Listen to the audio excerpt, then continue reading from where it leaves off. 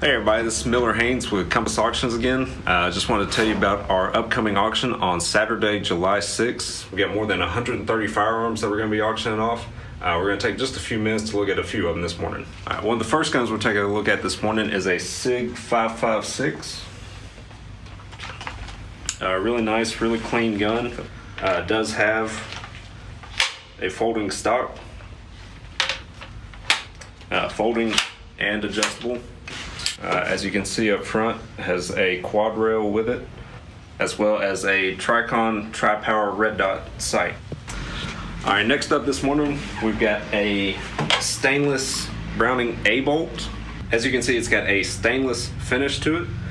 Got a Leupold scope with it. Uh, again, it's uh, very nice, very clean. We have a Winchester Model 42 uh, we've got a serial number verification that this is from 1939, uh, so it's really good condition.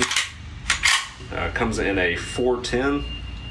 Uh, as you can see, it's scaled down off of the Winchester Model 12, uh, but really just a nice, clean, good-looking gun here.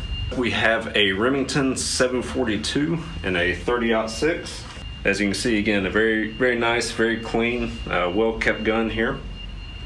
We have a Smith & Wesson 629 and a 44 Magnum. A lot of y'all out there will probably recognize this as the Dirty Harry gun. We have a double tap 9 millimeter, uh, also known as a pocket gun. Um, it's a two round, uh, brand new in the box, never been fired.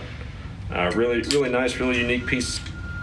All right, we also have uh, a wide selection of Glocks this month. We've got 15 of them that'll be coming across the auction block. So if you are into Glocks at all, this is the auction for you. If you have any questions, feel free to give us a call at 800 729 6466 or visit us online at soldoncompass.com. We hope to see you Saturday.